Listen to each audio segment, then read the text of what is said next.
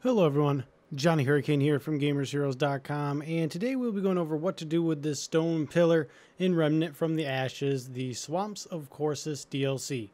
Let's get started.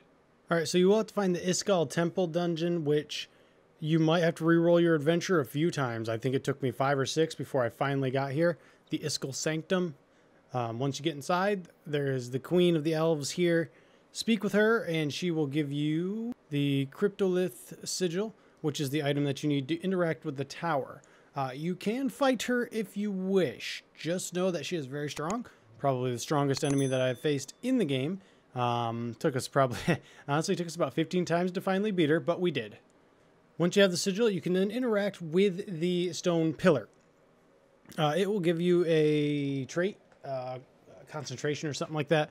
Increases how much damage your mods do, I believe. Um, from there, you need to then put the key back into it two more times.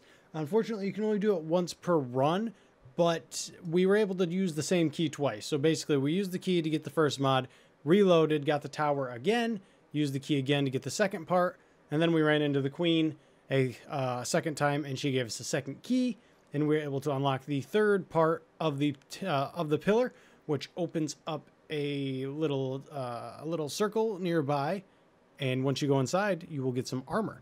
Uh, you do have to find it. It is here. Basically, you are warped to what is similar to the labyrinth.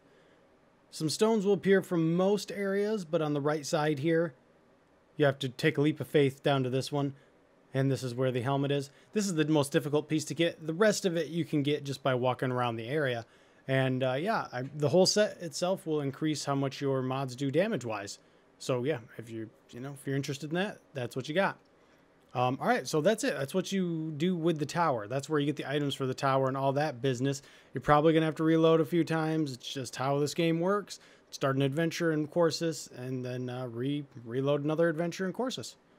All right, that'll do it for me. If you liked what you saw, got what you needed, you know how it goes. Like, comment, subscribe. See you guys in the next video. Later, Gators.